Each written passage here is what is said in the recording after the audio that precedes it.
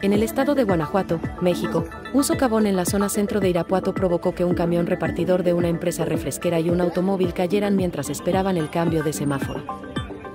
El incidente ocurrió alrededor de las 8.15 de la mañana de este viernes, en la calle Altamirano, cerca del cruce con Revolución, a un costado del santuario de la Virgen de Guadalupe.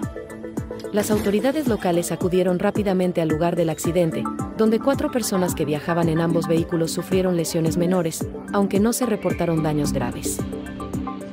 Este suceso ha generado preocupación entre los habitantes de la zona, quienes señalan que las recientes lluvias podrían haber debilitado el pavimento, aumentando el riesgo de más socavones en la ciudad.